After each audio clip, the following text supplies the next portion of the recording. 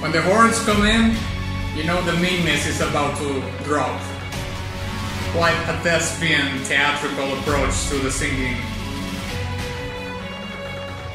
Oh god! Drenched in blood and guts, but also it's very somber and corrupt. You know, it, it